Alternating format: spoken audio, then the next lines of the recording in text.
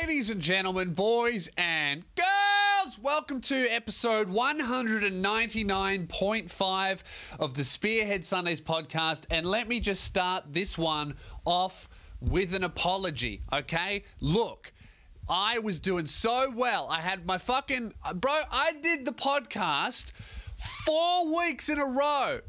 Maybe even five weeks. I can't even remember. So well, so consistent. Early on Patreon, I was nailing that shit.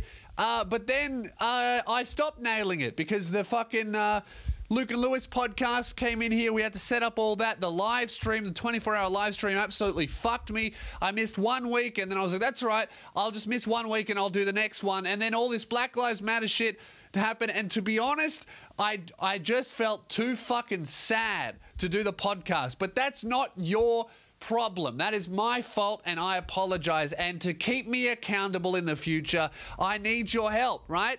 And, and I've devised a system that, that I think is going to work really well.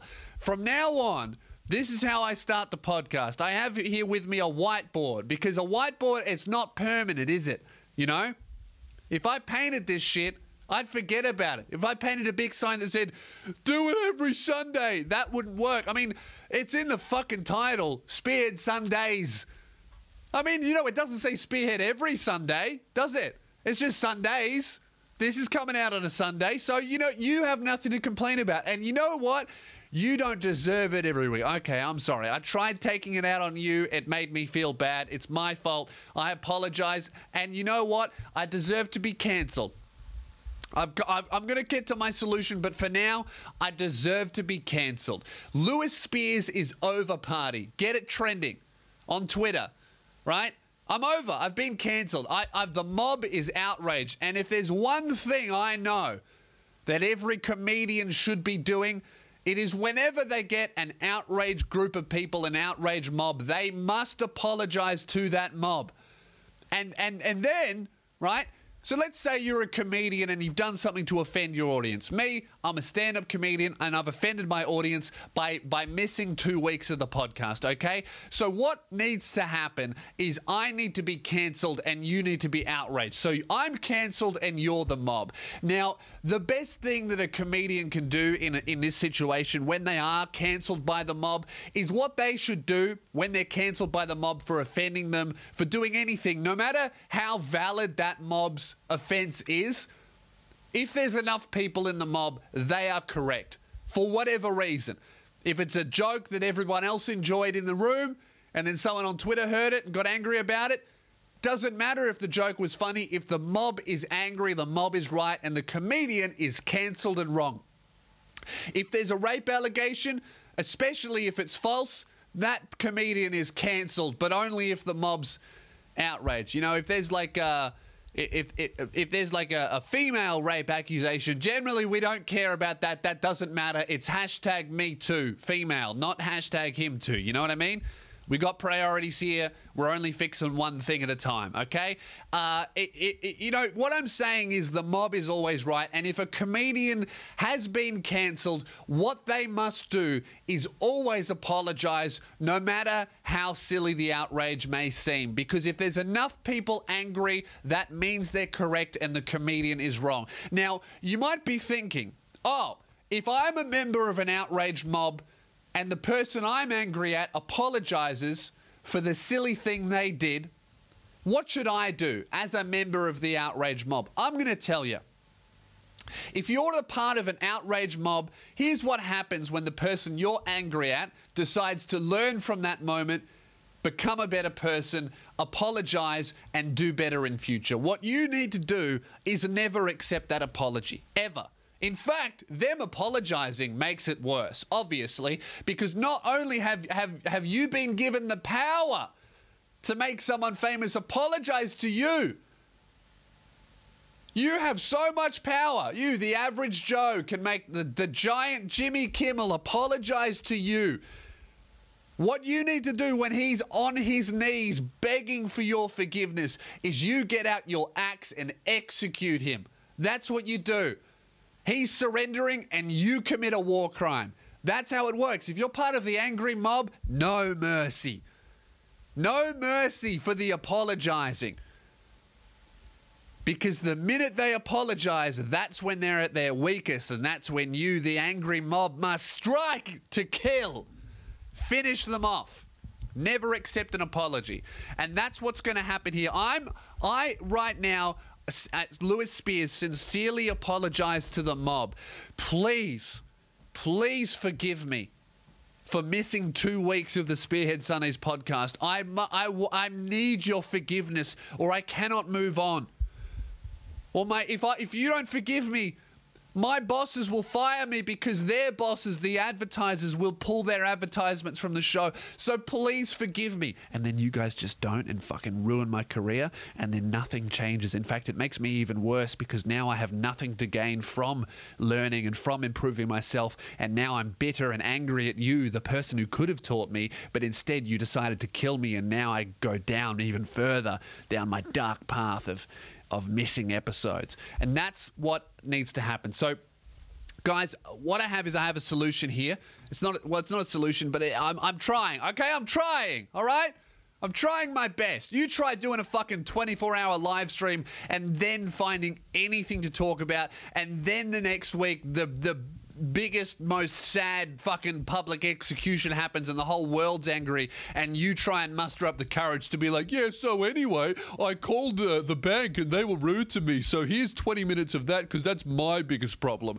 That's what this podcast is. Me yelling about customer service cunts like it's the worst thing that's ever happened. Meanwhile, cunts are getting executed in the street. Let's try uh, doing that.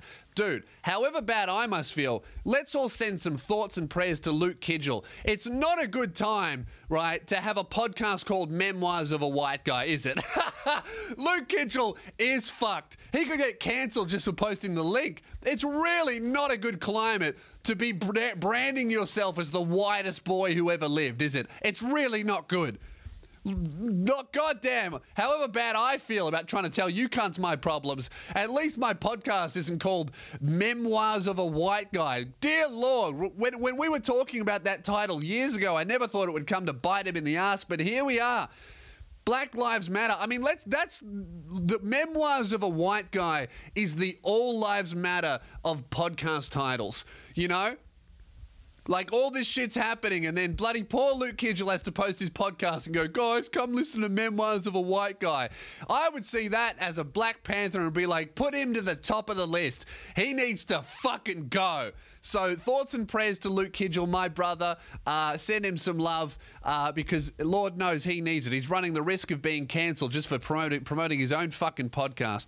Poor cunt. Anyway, my solution, right, to this uh, to this. Uh, a common theme of Spearhead Sundays being missed. Uh, and I'm going to get to why I've delayed episode 200 as well, uh, but it's for obvious reasons uh, in a minute. Uh, my solution to this is uh, is is uh, a Simpsons esque theme, right? You know, how they or, or it's like a cartoon thing. What I have is I've got a I've got a whiteboard, and it says on the whiteboard "weeks since missed episode."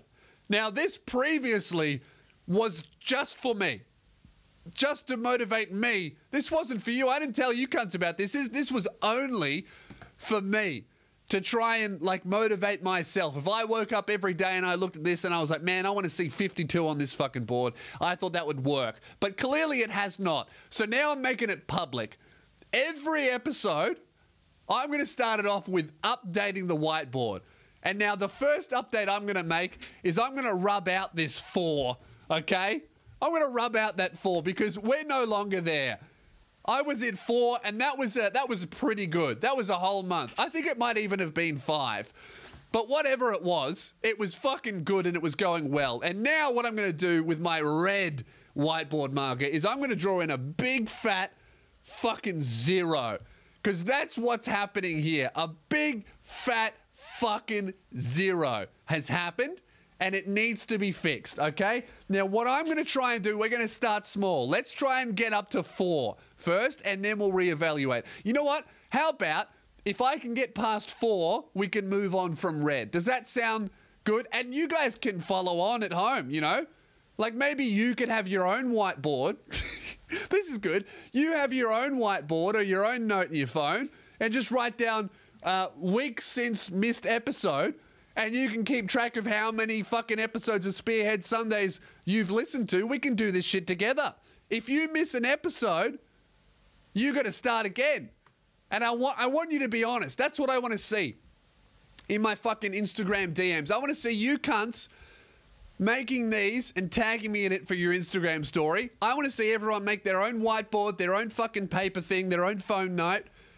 And I want to send that shit to me. We'll put it up on the Spearhead Sundays Instagram uh, story. And uh, we'll all do this together, all right? So, everyone, weeks since missed episode, we're back down to zero. Let's see if we can get to four together, okay? And if you miss an episode, fuck it, I'm not doing one. oh man, sorry. It's just um, the 24 hour live stream was like not really an excuse. I should have pre-recorded this, but I just didn't. Uh, and uh, but but then all that Black Lives Matter shit fucking happened, which I'll, I'll get into, but I don't I don't want it to be like a big bummer because I have I had some I've got some fucking funny for you. That's my job. I'm trying to bring like some darkness into this. Some I'm trying to bring some lightness into the dark because the last thing we more, fucking need is is more more darkness. And I bet that that must be what some uh, police commissioners are saying right now. Last thing we need is but more darkies. Huh? um, so yeah, what how has your week been? Have you been fucking staring at the news going, oh my God, I can't fix it, and feeling terrible, ruining your own week, ruining your own day every morning just by opening the fucking news? It's horrific, isn't it? Anyway, but I, I'm trying to not do that. So um, man, I've had such I have had such a busy two weeks. It's the reason mainly is we've been setting up Luke and Lewis in the in the studio. So I, I, I just set up all of my own personal shit, and I'm like, great, now I'm ready. We can bring the boys in, and my shit will keep rolling. Nah. Uh, but that's fine. Now Luke and Lewis is all rolling, and Keelan and I are in our workflow again. We had such a good fucking uh, planning meeting, man. We're gonna we're gonna take over this year. Uh, uh, even though I haven't been like uploading as frequently, I've I've been keeping pretty well. Um, but I obviously haven't been doing that two a week that Keelan and I were, were really smashing out uh, last year. But now we had such a fucking productive meeting uh, in the studio today of like our goals for this month and our goals for 2020 and all of the content we want to shoot. We've started like working ahead of schedule finally again. Like, for example, I'm recording this on Wednesday. So Patreon supporters are going to get that shit Thursday. So it's all like really happening super far ahead of schedule. And if you want to get everything early, Patreon's how are you going to do that? So that's really, really cool that we're working towards that. And I'm, I'm very excited for it. It's very good. Um, and uh, yeah, man, if you want to keep in the loop about all that stuff, what we're working on, and, and help help the movement, uh, support Spearhead Sundays uh, and everything else I do on Patreon. You get early access to everything, and the Discord is banger as always. So uh, that's really cool, man. We got some big plans. I got some big goals because, uh, yeah, even with the the uploads not being as frequent as I would like at the moment, I think that'll be fixed from next week. Uh, man, the channel's exploding. 17,000 subscribers this month. That's fucking so cool. We're, get, we're actually going to hit half a million.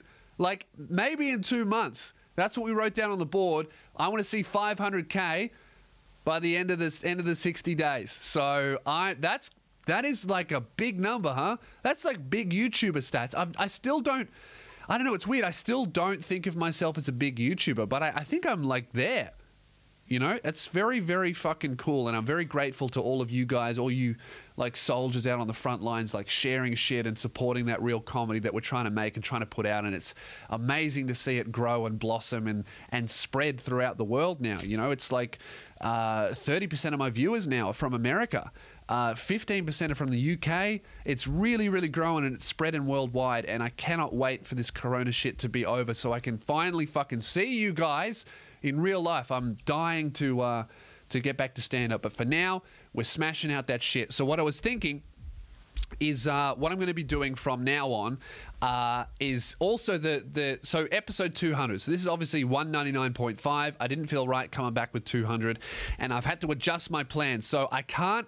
I've worked out that I cannot actually stream episode 200 to the main channel because streaming from this good camera that you're watching the podcast on uh, my internet cannot handle it, uh, as we learned. So the the Luke and Lewis 24 hour stream was amazing, but we had eight hours of bad internet, the stream buffering, going down, all that kind of bullshit because we just d- don't have the capabilities. We had to get a Patreon supporter, Whitey, bless his fucking soul. He does streaming for a living.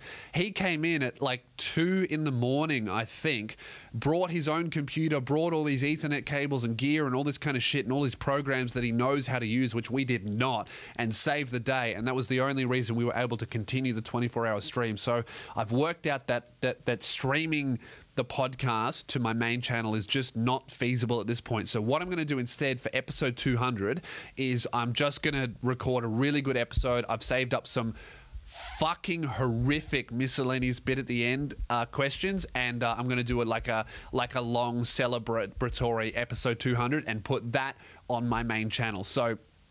If you want to see that early, Patreon's the way to do it. That'll be coming out next week for sure, uh, because the whiteboard is going to motivate me to not miss any more episodes, right? So, uh, what uh, what I'm going to do with the live streaming is I'm trying to incorporate all that live stream shit into what I'm doing. So what I'll be doing from now is uh, at the start of every podcast when I start recording it, I'm actually going to live stream it from my phone, which I know I can do. I've done lots of tests. I'm going to be live streaming it from my phone uh, exclusively to Patreon supporters. So uh, the, on on our schedule, we've uh, worked out we're going to be recording the Spearhead Sundays podcast like Wednesdays at 6:30 p.m. Australian time uh, is when we're going to be doing it. I mean that that'll vary from because of my availability, but for now that's what we're going with. So if you want to catch the podcast fucking live as I do it. Uh, Patreon's the way to do it. So uh, I'll, I'll, put more uh, info in the Discord and all that kind of shit. But uh, yeah, now uh, it's time to get down to something very important, right? Much more important than any, anything else that's been happening in the news. And guys, uh, it's time to fucking get a grip and stop. Okay?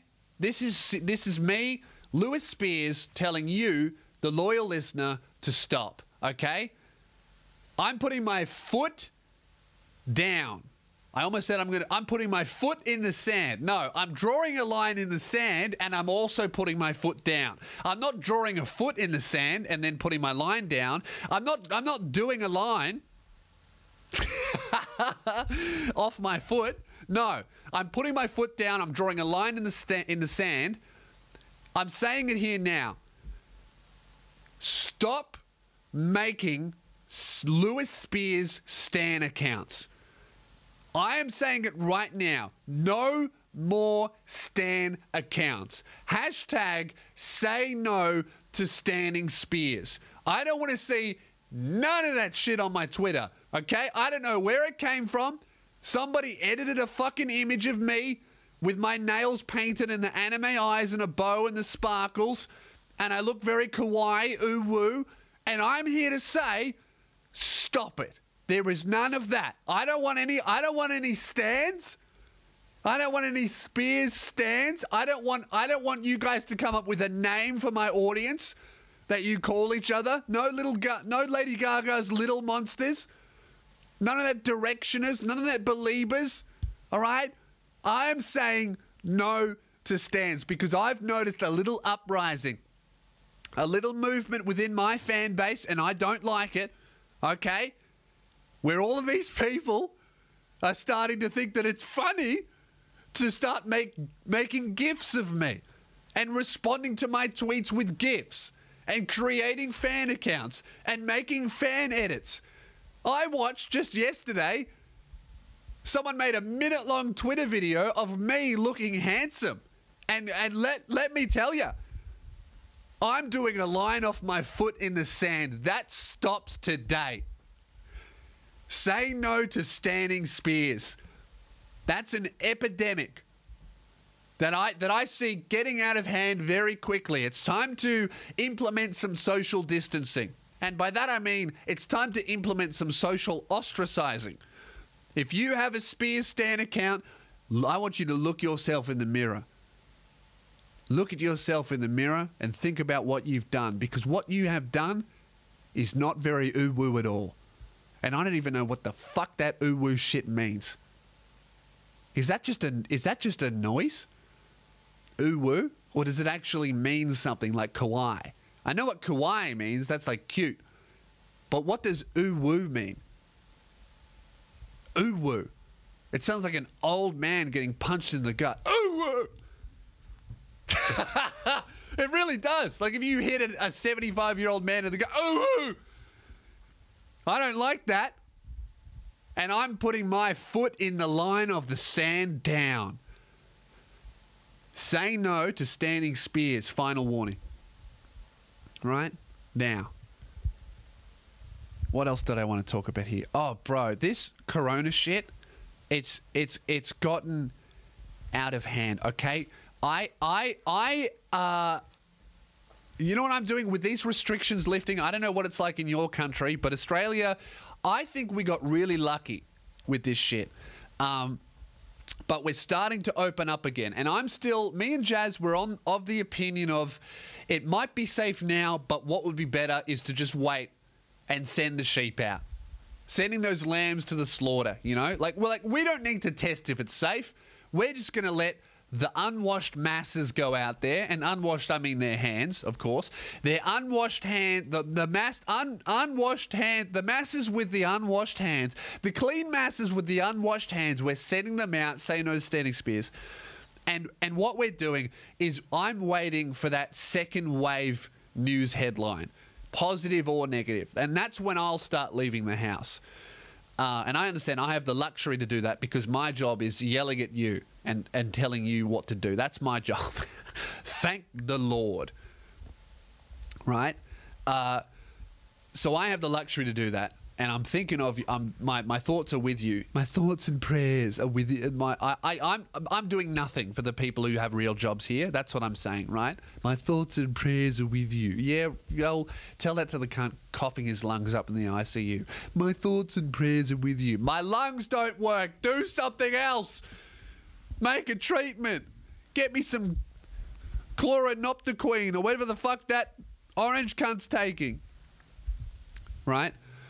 Uh, I'm waiting for that headline, bro. Like the the headline that either says uh, social distancing relaxing has caused a million deaths, or uh, second wave not happening, according to experts. That's what I'm waiting for. So if it if it's not happening, I'm going to start leaving the house. I'll still social distance, but I'll start doing things. I haven't left the house for ages, uh, but but I'm waiting for other people to test that. You know what I mean? It's what it's like. What I went back to. You know, if if you want back in the day, if you wanted breast implants, that's cool, but you don't get it when they first invent it. You wait, right?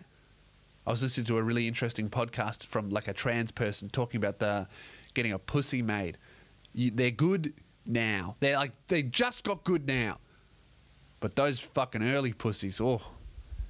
I mean, those early pussies look worse than an actual pussy. and I've seen some shockers. Right now, I think from what I've heard, I think the doctors are doing better than God. Like like really, like you've like there's not many beautiful pussies. You know? I've seen a lot of good ones, but I've seen okay, I haven't seen a lot of ugly pussies, but I have seen a lot of pussies. You know what I mean? Like just oh yeah, that's a pussy. Right? I would say and this this might be a controversial opinion. I might get cancelled again for this. I think that there are a lot more ugly pussies than ugly dicks. Right? Now, as a, a, a, pornography consumer, and I used to be a much more frequent, I don't really look at it anymore, actually. I've kind of gone off it. But as a teenager, as we all did, right? I was a frequent consumer of the hub. So, really, I've probably seen an equal amount of pussies to dicks. Depending on what you're into, you might have seen way more dicks than pussies. If you're in that if you're into that 8 on 1 shit, your ratio would be off the charts. You'd be a dick expert. You might be a little bit fuzzy on the pussies. Those pussy you might be a little bit fuzzy on fuzzy pussies. that that one amused me, guys. I don't know about you, but that one tickled me. Um, so what I'm saying is, right? Uh, I think I've seen a lot of dicks. Not in real life, but online, I've seen a lot of dicks, and I gotta say, you know, I've seen a lot more ugly pussies than I have ugly dicks. Now, not many pussies are ugly, um, and not many dicks are ugly either. I'm just saying I've seen a lot more ugly pussies than ugly dicks. Although one time I did see a horrific penis, like a fucking, like a real, a real shocker. You know, like to the point where it's like, why didn't you just get a guy who uh, who had just left the Burns ward? It'd be better than that. Like a guy that was cooking and then he dropped the pot of boiling water like down his waist. That cock whatever that fucking shriveled up pastrami looking penis would look better than this. It was like uh, the, and I don't know how the fuck he managed to be a porn star because if I was the casting director, I would have got that shit the fuck out of there. You know, at least inspect the. I know there's not a lot of uh, quality or control over there at Pornhub. I mean, let's be real. They are uh, putting out a lot of child pornography and non consensual uh, video recently and not taking it down despite victims uh, asking them to, right? There's a lot of that shit going on. So there's not much quality control. There's not much consent checking, but at least check the cocks. You know what I mean? Like, if you can't check whether or not the person in the film would like to be on your website, at least check to see if the guy in the film has a weird cock. That's all I'm asking for. Because I've seen too many fucking weird cocks. Right? I would say that, you know, the reason why, you know what? Maybe in real life, there are just as many ugly pussies as there are ugly cocks. The reason you see more ugly pussies is just because there are less women in porn, right? Supply and demand. So that's probably why I've seen less ugly cocks because there are just more cocks to choose from. So you can have a bit of quality control, you know? I mean, that's where you're going to find those mandingos, you know, those fucking 12 inch, those plumbing dicks. But the places, the plate, those cocks that'll do a bit of that won't just fuck, they'll also renovate. You know, knock out the back wall, create an open plan pussy. that's where you get those because you have more choice. You know? So some, uh, so that's what I'm saying. Maybe there there isn't as many ugly pussies. There's just more ugly pussies in Pornhub because there's less pussies to choose from. Whereas dicks, you know, there's more to choose from. I'm sure there are so many more porn, more men wanting to get into porn than women. Even though there's the wage gap, you know, inequality. Hashtag me too. Okay? But what I'm saying is that's why I'm so appalled by this cock that I saw in a porn. Because there is so many other decks you could have chosen. You know, why did you choose this one? Let me tell you about it. This is a weird. I was going to talk about Black Lives Matter this this episode, and now I'm talking about a, an ugly penis I saw eight years ago and never forgot. Actually, it would have been way more than eight years ago. How old am I? I'm 26. It would have been like 15. So like 11 years ago, I saw this cock, and it's in there.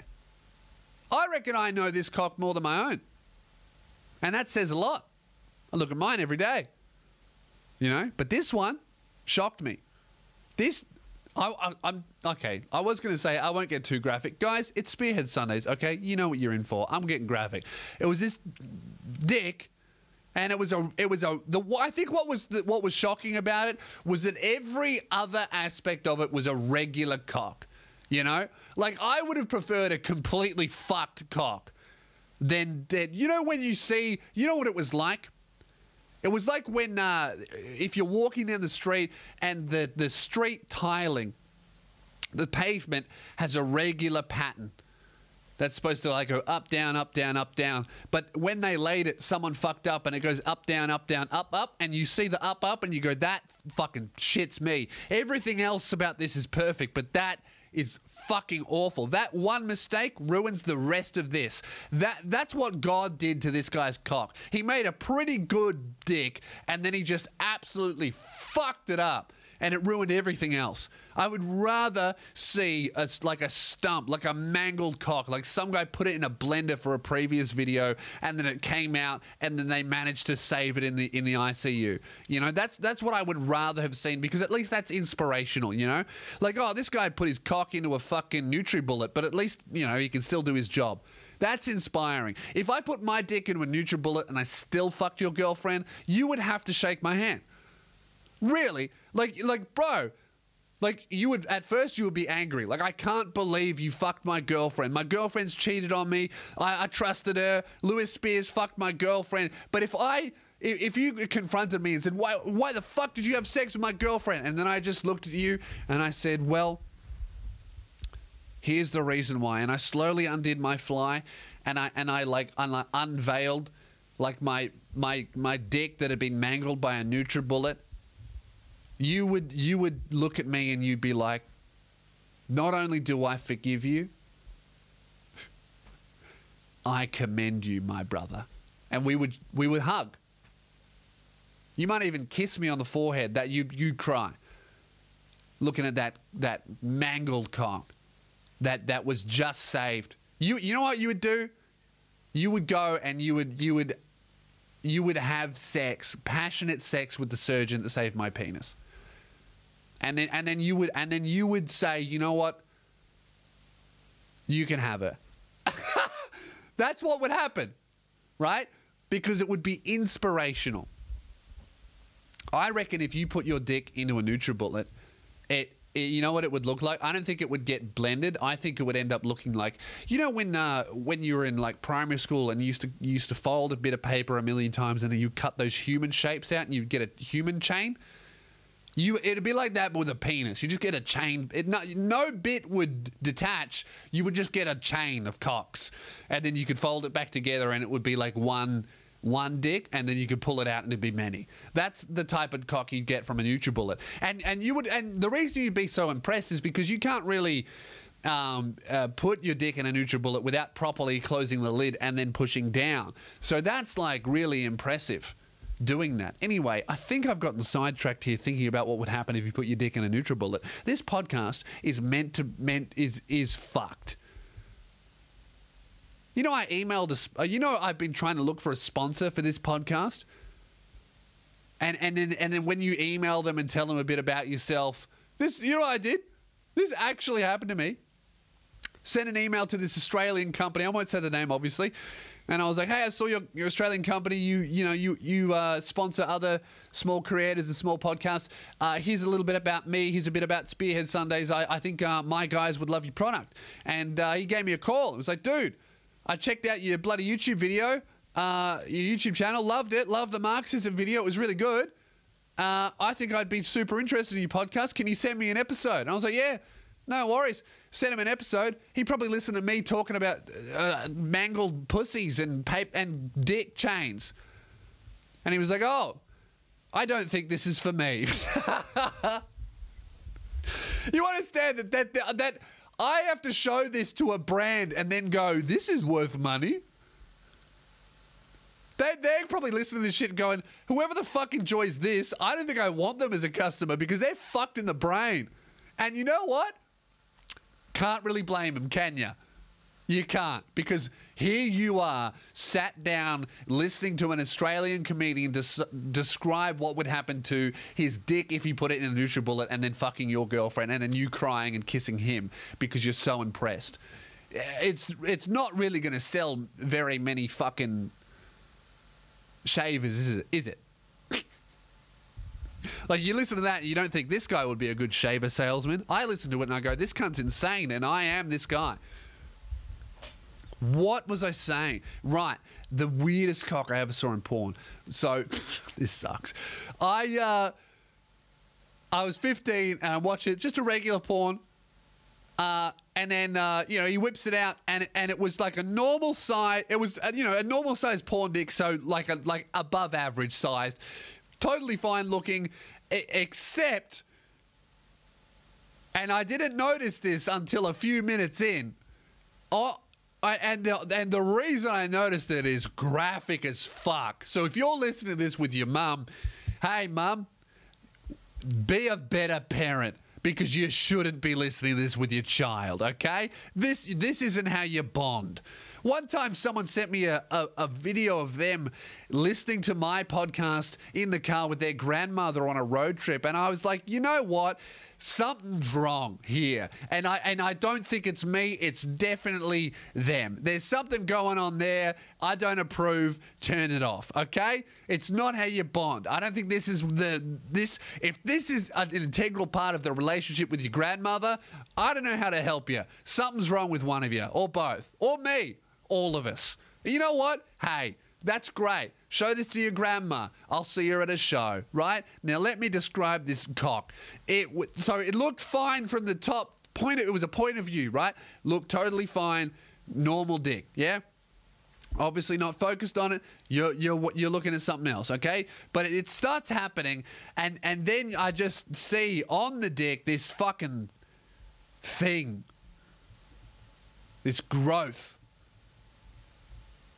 It shouldn't be there and and it, it must have been underneath the dick, but every time it went in, this fucking growth that was sticking out, this like skin tag. You know that shit that old people get on their face or their neck? And it's like, well, that shouldn't be there. Like something something malignant. He had something there. And every time it would go in, it would not. So his dick would go in, but the, the thing would be like, nah, I'm not going in there. I, I'm gonna. I, it would like twist around and sit on top, and and I got so horrified that I just had to like what look at it and figure out what it was. And and I went from like having a great time to just feeling like I was in science class dissecting something, looking at this fucking thing move around and being like, hey, you know what it was like? It was like um uh, you know that uh, you know that at the arcade how you have that that game that has all of the the targets the circles and the holes and and the circles get progressively smaller and the smaller the, the circle and you have the balls that you roll up the ramp. I don't know what that, what that's called but it's at every arcade. You know what i'm talking about? Where you would like roll it in and you'd have seven balls and you try and roll it into the small hole. I felt like i was watching someone play that but there was only one tiny hole hole and that like fucking skin tag on on the in the on the underside middle of his dick was the ball and i was just trying to see if it would ever go in and it just refused to. Why am I talking? Why am I telling anyone this? This previously just lived in my brain. Now it's in yours. What am I doing? So yeah, anyway, that's the weirdest dick I ever saw. It just had this fucking thing. I wonder what he's doing now. I would have named it. You know? This is my dick and that's Jim. He doesn't like going in, but he'll hang out. He's he's like, "I'm good. He's like that guy that doesn't want to get in the pool because he's fat. He wears a t-shirt and just dips, just dips his feet in. You know, Jim. He just sits there. He's like, "Hey, come in, Jim. The water's nice." He's like, oh, "I'm good. I'm chilling. I don't want you to see my man tits." He's like that guy. That's that's what I like to think of. He's that that malignant growth. It's like I don't want to go in the pussy. Uh, you're going to see my man tits. Anyway, guys, what what am I doing with my life? And what are you doing with yours, man? All right, should I talk about this fucking horrible shit? How long are we going here for? Uh, I can't even fucking tell. Uh, I don't know. My camera doesn't tell me. Oh, maybe about fucking 20 something. Um, okay, so uh, this this fucking police brutality shit, Black Lives Matter, the anti-police protests, it's all fucking terrible, isn't it? Um, look, it's it's it's such a complex issue, and I'm gonna say I don't know the fucking answer. But it's it's a shame. You know what it makes me grateful for? It makes me grateful for our police. And and they're not perfect. That's not I'm not saying that they're perfect, but thank fuck they're not that bad. Like when when Australia and I, I thought that all of these people saying that the American police aren't bad, they don't have a fuck system. I think when you have a look at almost the entire world protested against police and, and, and used the the the energy that came out of America they used that and they and they channeled it into the issues that they have with their police at home. So for Australia, I don't know about any other countries, but for Australia, it was like uh, Aboriginal incarceration rates and deaths in custody is is like our big. Uh, issue. So we channeled that into our demonstrations and our protests against police, and for the most part, they were incredibly peaceful on both sides, and the police let us do the protests. I mean, there was a few politicians that tried to outlaw it, but that was eventually overturned, and it was for the most part generally peaceful. You didn't see any. The cops didn't dress up in riot gear. Uh, the cops weren't fucking tear gassing, throwing shit. Uh, and I know there's stuff on both sides, but there has been a lot of fuck shit from just the cops and just the other side as well. And it made me it made me go, you know what? That's almost the biggest mark against the cops in the US of like, well, if everyone else can do the same thing that they do in America, bad protesters included. Like I know in the UK, there's been a lot of violence, but the, the the level of response from the police in every other country has been so much more responsible and thought out and restrained and planned than the Americans ones. Uh, it makes you kind of think, fuck, I think they have a point. Um, it's just a shame. I think I think what this is, it's the first time in history where everyone, no matter what you believe in, is on the same page with that instance of police brutality. Of, oh, yeah, if you watch it, it is undeniably murder. Haven't seen a single take that goes, oh, well, from this angle, or, or if he wasn't doing that, it's like uh, the only thing that's kind of getting debated is uh, him putting his, his knee on the neck uh, to the point where he passes out. And then I think that's fucked, and the and the police agree you should never put it on the neck. You should put it on the back.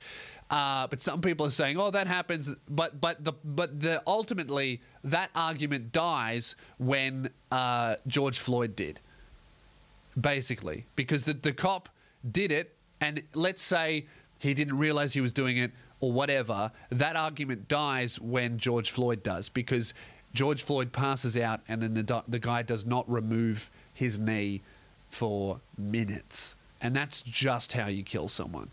Uh, and everyone was saying, "Hey, move the knee, let him breathe," blah blah blah, and he's passed out noticeably. So not resisting at all, not even capable of resisting because you've blocked the flow of oxygen. Anyway, it's too fucking sad. I, I don't like thinking about it and talking about it.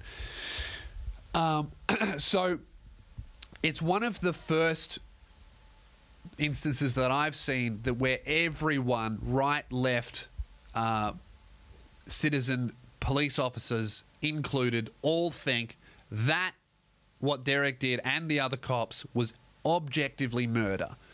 Um, and so it's so it's good to see all four of those cunts charged with murder because I think that's fucking despicable what they did, and it's a great thing that they were charged with murder.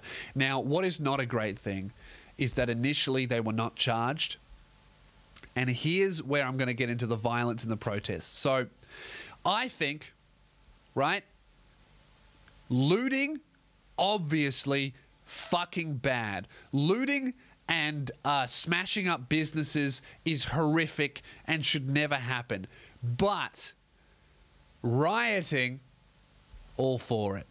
And let me explain what I mean by rioting. What I mean by rioting is directed damage uh, to the people that have wronged the mob. Uh, and and the reason that has happened is because there's been peaceful protests for literally years every time this shit has happened, and seemingly nothing has been done to address it in a significant way because it keeps happening. And I think this this rioting and shit is is it's not only because of George Floyd. It, I, feel, I feel like this George Floyd shit is the straw that broke the camel's back. And if the protesting and shit wasn't shut down, for example, Colin Kaepernick doing the taking the knee during the anthem, uh, that got shut down. He got booted out of the NFL. He could have been a really positive figurehead for peaceful, legitimate protest about this shit or about any kind of cause. But because he was shut down and so many others were shut down and so many other peaceful protests happened with nothing happening, and even the peaceful demonstrations that happened after George Floyd was killed, nothing happened. And what happens when peaceful protests are ignored, riots happen. That's just how that shit works. And as horrible as as the rioting can be, positive things do happen from it. A lot of the time. Not all of the time, but a lot of the time. I mean, the French Revolution was horrific, but at the end of it, France was better. That's not to say that looting is is good. Fucking going out and beating the shit out of people. Any type of any type of like looting or violence against people, I think is fucked. However, smashing up signs and burning down the police station, I saw that and I was like, well, that's going to send a fucking message and something's going to be done. And and shit is changing. But that being said, I hope that cop shop didn't have any fucking rape kits in there because if if so, there's going to be a lot of poor women out there that aren't going to be get, getting justice because a lot of evidence would be destroyed. So that's the fucking downside of it. But there's you know downsides to everything. I think the the question to ask is like, would those cops have been charged if this shit didn't happen? I don't think so very, very rarely do charges get upgraded or, or people get arrested that initially were not arrested without this type of shit.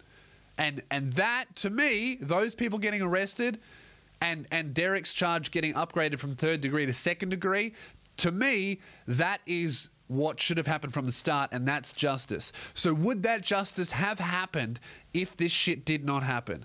And it, it's like I don't view this as a left or right issue. I view this as if, you know, you're a right wing person, you believe in uh, the government not having the ability, not having too much power. Uh, and to me, the police being able to, like, objectively execute a guy and walk away with like a slap on the wrist that is the government killing a citizen and getting away with it because it has too much power. So what should be done is adjusting that power. And if that shit is not done you rise up against the tyrannical government. I mean that is literally how america was founded. Right? Britain was some tyrannical government. The people rose up, and I'm sure a lot of innocent cunts got hurt during that time. I'm sure a lot of businesses were fucking destroyed. But at the end of the day, as terrible as that shit was, America became the land of opportunity and the most powerful country in the world. And that is obviously an incredibly simplified, super shortened version of it. But that's what fucking happened. And and again, this is just my opinion. I'm not saying that I'm completely correct. And with this type of stuff, it's always evolving, and no one has the answer, and no one has the full picture. You know, because that was that was the thing that when I first saw that video, I was like, I think this might be the first one where everyone has the full picture. That shit's fucked. Because even with all of the other ones, it, it was hard to unequivocally call them murder because a lot of them were obscured angles. A lot of them information came out later of like, oh well, they actually had this in their pocket or this or that or whatever the fuck. Where even some that that maybe so were objectively murder, the video footage that the public saw didn't conclusively prove that because maybe they were filming it from the wrong angle, so it was impossible to tell. So something that could well have been objectively murder wasn't captured properly, so it, it's still up for debate. I th- I truly think this one was the first one that that I've seen anyway. I've seen a lot. I obviously haven't seen all of them. The first one that I've seen where every single person was like, "Yeah, that shit was fucking murder." So I think that th- those riots happening in uh, in in where it happened and those cop shops being fucking burnt down, that was the result of the cops not getting charged, the people not being listened to. Uh, and, and, and, and also the years and years and years of protests and, and demonstrations like this to stop this shit from happening in future, I felt like it was the rage of the people feeling like all of their peaceful efforts were for nothing. Because if those peaceful things worked, this shit never would have happened. And of course, there's going to be one offs and, uh, and bad apples and that kind of shit. But also, cops can't have bad apples. Doctors, you can't have a bad apple. Pilots, you can't have a bad apple. There are lots and lots of institutions where having one off bad things shouldn't happen. And also, I don't think that the bad apple things holds weight in this situation because you look at Derek's Derek Chauvin's record, the dude had I might get this number wrong, but 12, I believe, previous com- previous complaints of excessive force. The dude had killed four people. I know it was multiple. I, from memory, I believe it was four people before, and maybe they were legitimate. But if you look at that, maybe they weren't. If you look at all of the excessive force complaints, maybe they weren't. So when you have a dude that seemingly has a track record of this shit where people are complaining about it, if the system was followed, if it truly was one bad apple, George Floyd would be alive today. But it seems that there were many warnings. Even the, the, the woman who owned a nightclub where Derek worked security, she herself said that every time, every instance, he would resort with way too much violence. It was a part of who he was. And that was incredibly obvious to her as a nightclub manager. And he just did security. So it's not that crazy to think that maybe this guy slept, slipped under the radar because he was not just a bad apple. Maybe there were a lot of people either turning a blind eye or also doing the same shit. And turning a blind eye is almost worse. So when that shit happens and when lots of people complain about an officer and when a dude kills a guy and three other cops watch it fucking happen and then none of those police get charged, that bad apple argument, at least in Minneapolis, that precinct, at, at least there, it doesn't hold up. Uh, and that and that's that's when cunts riot because clearly justice cannot be served in that environment if if radical change doesn't happen. And I'm just talking about this one instance and and the the people that surround it. Um, and that's why I'm of the opinion in that situation the riots were justified. The looting, absolutely not. The violence against other people, absolutely not. But the fucking throwing of rocks at cop cars and throwing them at fucking police stations and all that kind of shit. It's not good, but it is justif- justifiable and un- at, at the very minimum understandable why that would happen. I could never condone violence. I could never condone fucking vandalism, but I can I can absolutely understand it. And if I was part of that community, I might be there you know. And it's funny people uh, people who don't listen to the podcast being surprised that that me understanding the riots. Like, bro, I used to vandalize for no reason. At least they're vandalizing for a reason. I used to do that shit when I was. I used to go out and smash cars for fun, bro. I'm not your role model. I used to go out with my friends and we would smash cars and steal shit from them. I'm not a good person. I never said I was.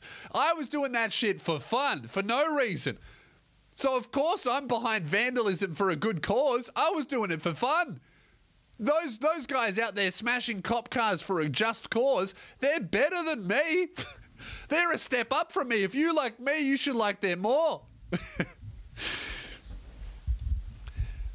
Sorry, I'm trying to bring some. I'm trying to bring some humor into it. Uh, it's just such a fucked situation, but that that is my opinion. Now, where it get now where it gets muddy and where I'm where I start to, to go against the the looting and even the rioting is is when it starts when it starts to look like it's because with any just as there are bad cops there are of course bad protesters.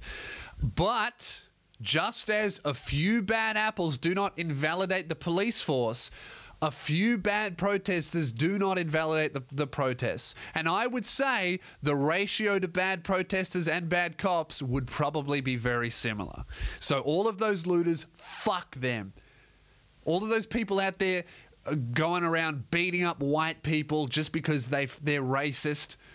Fuck them. All of those guys beating up black people because they think they're all fucking rioters. Fuck them. They're using the chaos of this and the, the horrible tragedy and and they are eh, they're exploiting it and they are also lessening the chance of all of this chaos ending up with a good outcome. So fuck them. Unequivocally fuck them. They're ruining any kind of good that could come from this terrible situation. And they're ruining the chance of a productive conversation. So fuck them. Also, Antifa is absolutely a terrorist organization. You're a fucking moron if you think that they're not people masking up, beating the shit out of journalists and people they don't disagree with for any reason, right? Hey, bro. Dictionary definition of terrorism. So, but I also do not think every cunt protesting is Antifa. Every time you see a protester doing something fuck, that means they're in Antifa, okay? Let's be, if you want them to be a terrorist organization, they've got to be a little bit organized. You can't just call every cunt in a mask smashing a window Antifa you're a fucking dickhead uh, if you think like that. So I, I think that I, from my point of view, and look, I'm an Australian, so I, all, all I think every time I see this is thank fuck for our police. And, and of course, we have our issues as well, but thank fuck for ours. Compared to that, looks horrific. I couldn't believe how uh, dangerous and and equipped and militant all those cops are. It's a real tell that because uh, I was initially thinking when they deployed the National Guard, I was thinking shit is going to get fucking crazy. We're going to see some deaths. We're going to see some fucking crazy shit. But as soon as the guard, wherever the guard was, it seemed very fucking peaceful. You do not see, I haven't seen one clip, and uh, maybe they do exist, but I have not seen one clip of the National Guard or anyone in an army uniform fucking up a protester or even uh, any kind of chaotic situation. I haven't seen any of that wherever the National Guard is deployed. So it makes you think if the National Guard is doing the police's job better than the cops there's something going on there. It's it's to me it seems like and and this might also be the fault of the protesters. I, the fault that I see in the protest is that there there doesn't seem to be a collective unified this this is so this is why we're angry very clear this is what we want very unclear and that's really what you need to have a positive solution. So you can have this is why we're angry. Great, nailed that. This is a list of demands. This is a list of outcomes we would like. Seems very muddy. And and on the police side of things, they've gone, we understand why you're angry. They've nailed that. They have not gone, we're willing to work towards a solution. It seems like the police's response and Trump's response is just Let's stop these protests by any means. These protests must be stopped. It's not like, well, maybe we should. Obviously, this terrible thing has happened and it keeps happening. Here are here's our idea for how to fix this, or here are here's the leader of our organizations. We're willing to talk to the leader of your organization. None of that shit's happening. In fact, to the point where the the shit that that Trump's been saying, and I don't want to get on this orange man bad rant, but the shit he's been saying has has has really turned me off him. And I've never really been anti-Trump at all. I've always been of the opinion he's better than the fucking system. Whoever's in the the supposed figurehead of this system, right? like Hillary Clinton, Joe Biden, they're all part, they're all a fucking cog in this terrible system that he uh, uh, with all of his faults, is ultimately better than hopefully, in, you know, in the senses, the same senses, the same logic as the riots. Not, not every aspect of the riot is good, but hopefully the chaos of the riots will uh, change the system. Even with all of the negatives. Trump was almost like that. Trump to me was like burning down a police station, you know? He's going to do a lot of fuck shit. He's going to cause a lot of chaos. He's going to make a lot of people angry. He's going to do a lot of good things, but he's also going to do a, a lot of fuck shit, right? But at the very least, he's going to scare the fuck out of the system enough to inspire positive change. To maybe go, oh, fuck, maybe we should listen to the people and do a good job for the people because if we don't do that, they're going to go, fuck this whole system. Let's choose the wild card. And you don't know who the wild card is. Trump for a wild card is fucking great. You know, Germany had Hitler. That was their wild card. That was their going, we're in debt, we're fucked, fuck the whole system, let's go with this crazy cunt. And then you got Hitler. That's not good. Trump's a great wild card. Out of all of the wild cards, he's a fucking good one. You know, in terms of fuck the system, vote for him. Great choice because you could have got fuck the system, let's go Hitler. You could have, you could have got that. It's not impossible. The the fucking people who supported Hitler, they're just humans. They are us. You know, it's not impossible. That I mean, that's the whole fucking thing with the never forget shit. You never forget because it could happen again. It's still happening today in other countries. We and we are those people. So it's within our scope. So for a wild card, he was a fucking lucky good one, right? But uh, he's kind of lost me on his response to the protest uh, purely because of those man those that shit he's been saying has been some scary shit like from a freedom point of view. Like I saw, I saw one that made me go, "All right, I'm off him now. He's gonna have to win me back." Of he he said something along along the lines of, uh, "We need to stop these protests," and then he put in the tweets, "Overwhelming force, domination." Now, that's a dude talking about his own citizens. Now, whether or not they disagree with you, that you are in charge of them and your job is to do a great job for the people who don't like you. That's what being a president, prime minister is. You have to create the best country for the people who don't like you too. And to see the leader talk like that in reference to a like talk about overwhelming force about in reference to rioters about a protest that is about overwhelming force, I thought was gross and I thought was scary. And I would think any fucking person on the right side, especially, would freak you out.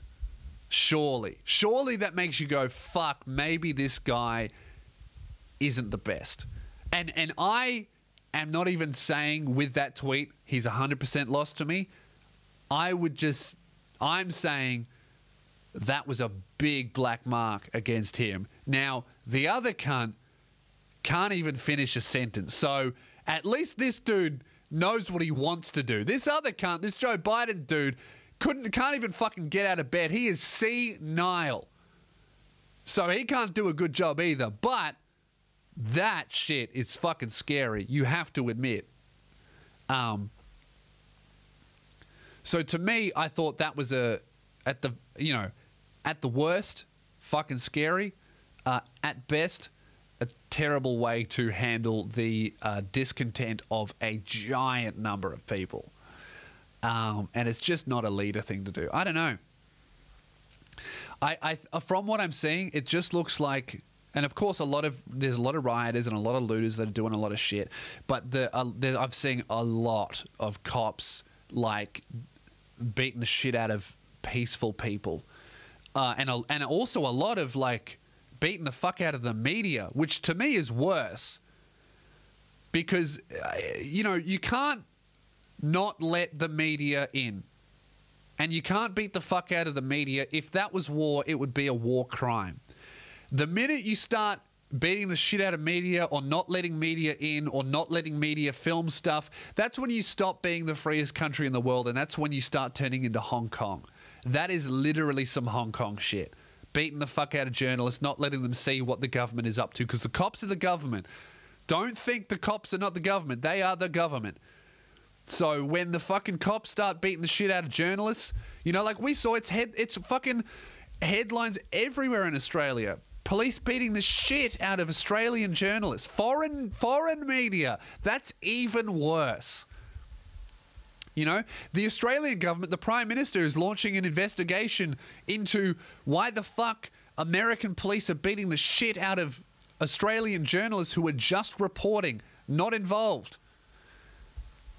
That's scary shit. So I think there is.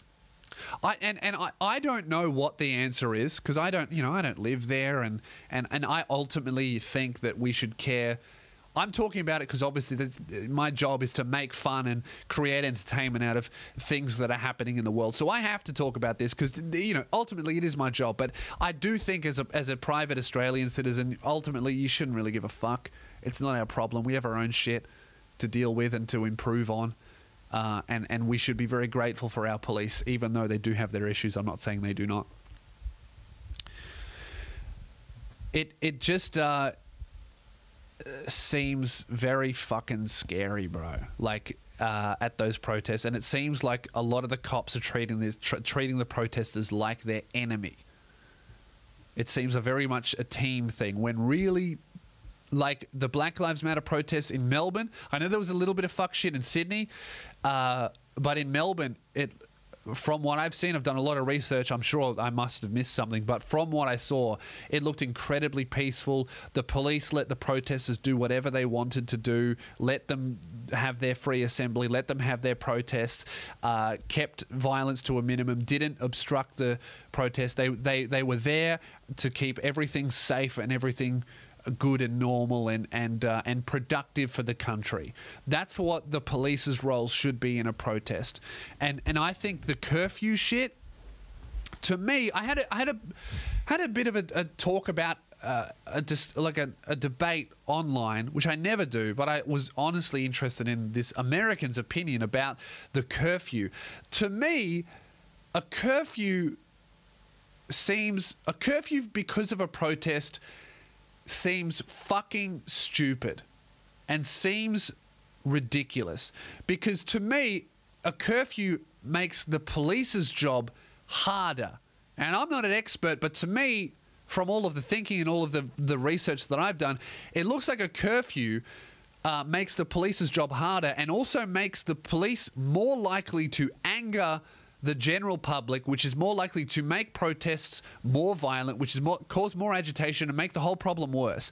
To me, having an 8 p.m. curfew, especially in a place like New York City, I don't know about other places. I was researching New York.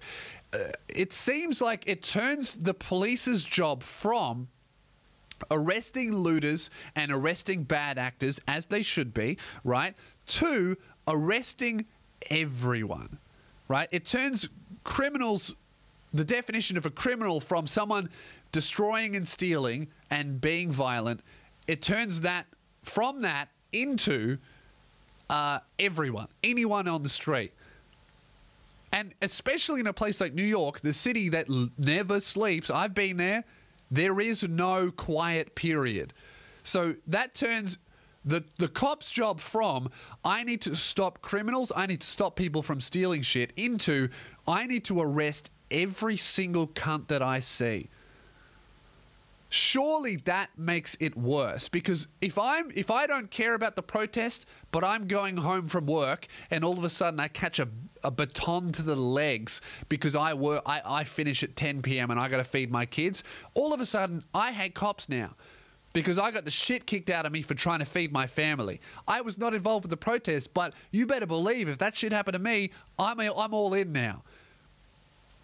Surely that makes the problem much worse, makes the job harder for the police, and provides a really good cover for all of those bad actors, all of those people looting, all of those people burning and stealing and, and, and robbing and, and being violent that would be the best thing of like, oh, great. Now, instead of worrying about them looking just for me, I'll go and rob the fuck out of a quiet place while all of these cops who are supposed to be looking for me are trying to deal with peaceful protesters in Madison Square Garden or whatever.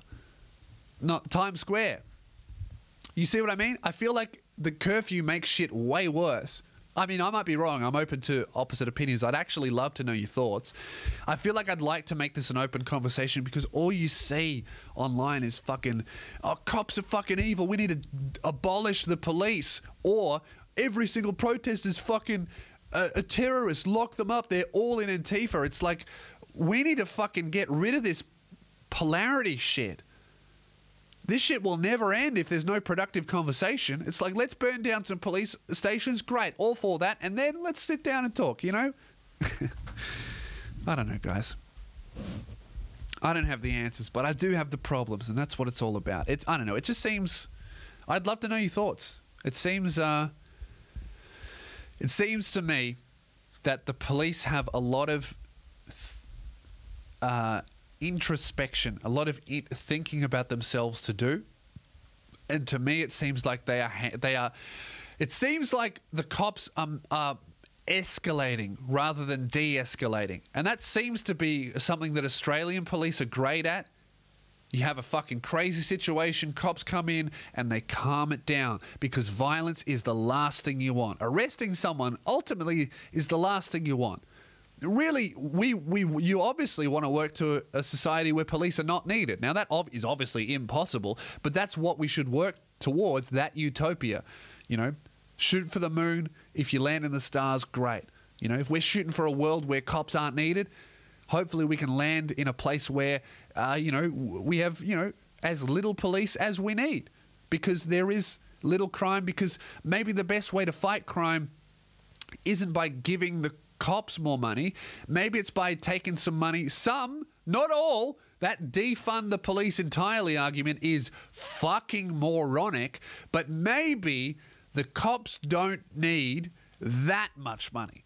I think is the argument that should be put together. I think defund the police is a fucking stupid slogan. It should it should be something like uh, audit the police. You know what I mean? Like it should be rather than giving more money to cops to fight crime, maybe instead of giving them more money to arrest more people, maybe you take that money and you put it into helping homeless people. That was the most shocking thing I saw in New York was how horrific the homeless problem was. I saw that shit and I was like, dude, I don't fucking feel safe and I feel terrible for these poor people that are stuck out on the street. And, you know, the argument is, oh, well, they just need to do shit. Well, maybe they need a little boost to help them do some shit. And even if you, even, hey, let's say they don't deserve the help, let's give it to them anyway. And then maybe that will get them off the street and they'll stop committing crimes and that'll take some pressure off the police force which will make the police force cheaper which means we'll save some money which means you can put some more money into helping mental health maybe we can check that one off next you know i think that's that that's ultimately where the where where i think from my point of view it needs to go, where you just need to. Obviously, you need police, but maybe you don't need that many police, or maybe you need that many police, but the police don't need that many weapons and tools and guns and gadgets and gear. Maybe you could take some of that money and put it towards uh, preventing crime before it happens. I was listening to some really interesting, like, uh, fuck, what's the guy's name? Really handsome black actor. Denzel Washington? I think it was him. If that's not him, I'm a racist. Denzel Washington, I think his point of view was you need to get, you need to, he was saying that cops aren't arresting, he's talking for the black community. He was saying Cops aren't arresting us when we're seven years old. They're arresting us when we're 15, 16. And he was saying the system did hasn't failed us. We failed ourselves before the system got involved. The system was too late. Or, or it was too late by the time we got to the system. So he was saying that th- these communities that struggle with crime that are that are often uh, overrepresentative in crime statistics and in prisons and shit like that. He was saying that these communities need to help themselves up and rise up together and, and fix the fatherless fatherlessness issue uh, and I don't know anything about this. This isn't exact. This isn't my opinion yet. This is just an interesting thing that I learned today, and I'm going to do more research in, and maybe it will bec- become my opinion. But he was saying that these communities need to be lifted up by themselves, so that that they never, the system never even reaches them. You know, they never even get into a position where this they don't even come in contact with that policing system and that jail system because they they were saved before that as children, as a community, because all of these other fucking issues were solved. So maybe it's a combination of the two. Is probably what it is. Where it's like maybe we need to stop. The answer clearly is not arrest all criminals. The the answer should be arrest criminals, but also let's try and prevent criminals from being created in the first place because everyone's a product of their environment that's undeniable if you're in the middle east you hate the gays and and they're human that's that's a product of their environment. No one is born hateful. No one's born a criminal. No one's born a drug dealer. The environment environment that you are in will mold the type of person you become. That's why I, I was surrounded by fucking vandalism and shit. And my boys breaking shit, so that's why I was doing it. And I now realize that was terrible and that was wrong. But I fucking loved it because that was my environment. That's what I was in, and I did not know better. Now I do. I did not know then. Now, if I was, you know, in that community, I might be in fucking prison. But I was saved by a brilliant community of loving people around me and opportunity to to to divert that angry, youthful, I want to prove myself uh, alpha energy into comedy. That's literally what happened to me. I went from fuck the system, let's smash shit, I want that adrenaline rush into I can pivot this into comedy. Let's cause controversy. Let's cause a ruckus. Let's make get a reaction out of people. Let's make people laugh. Let's do shows. And now I'm here. I could very well be in fucking prison if I didn't have such a good community, a great family, people around me that push me to do better. That's probably the answer. If our police had so much more money and was so much more prevalent, maybe I'd just be locked up and I'd be another fucking number in the system. So maybe I'm fucking incredibly lucky that money was was was in Australia was spent on providing me with an opportunity, providing me with things like being, you know, me being able to see somebody when I was young to talk to on the fucking government's dime. And and and instead of taxing people more to provide those services, maybe instead you need to balance the books a little and be like, why are we spending so much money here when we could take a little bit of money from here and put it into these services? And then that, ironically, will prevent crime much more than the police will. And it'll obviously take time, but hopefully that's, I think, anyway, in my uneducated Australian fucking failed high school opinion, could be what happens. That's at least what I think. That's that's what I think should we should move towards. And uh, that's that's what I think. But it's it's just very very sad, and hopefully something positive will come to it. I, I just I really do hope that uh, it doesn't just get worse and get shut down, which is what clearly seems to be the fucking big boss wants to happen. Is just make it go away, because because you know what that will work but the next one, if this gets shut down by force instead of by agreement and coming together, the next one is going to be horrific. Because this was the first one, right? All those other viral ones and those protests and all that stuff, there was a little bit of violence, there was a little bit of this, there was a little bit of that. This time they burnt down three police stations, there were cop cars, smashed all of this violence everywhere if this one isn't solved productively and is instead squashed, the next one is going to be hell. So I hope it's solved productively rather than squashed. And that's where I'm going to end this episode. Thank you very much for watching. Episode 200 will be next week. Uh, and I'm very much looking forward to it. I'm glad I've gotten this out. I'm glad we've had to t- sit down and talk about it. And, and, and, and, and I am absolutely open to some of the, some or many of the things that I said being wrong. I'm open to to debate. What I'm not open to is fuck you. So can I feel like we've had enough of that. Even if you vehemently disagree with what I've said, I appreciate you uh, uh, feeling that way, and I and I, I love your passion. Uh, but let's keep it civil if you have to fucking have a go. Uh, okay? Can we have that? Because I feel like we can all agree, no matter what you think about this shit, there's been a little bit too much fucking evil yelling and making an enemy of the other side in this because that gets us nowhere. Okay, so that's where I'm going to end it. I'm really looking forward to episode 200. Uh, jump on Patreon if you want early access to everything that I do. You want to support the mission. Uh, this episode will be up on Thursday for Patreon supporters, so nice and early, uh, but Sunday for everybody else. And uh, I will see you on the main channel for episode 200. I got a banger. I, let me tell you. I've saved up some horrific miscellaneous bits at the end. Emails. If you want to send an email, podcast at lewspears.com, send it through. I'd love to uh, hear it. If you have a if you have a question, you need some life advice, you have a fuck story, let me know. I have uh, uh, what is one of the most horrific, hilarious emails uh, that I've been saving.